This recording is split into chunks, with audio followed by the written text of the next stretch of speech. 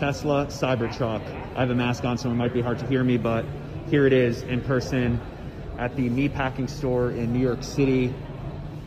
Notice that there's no rear view, side view mirrors. There's one of the cameras over there.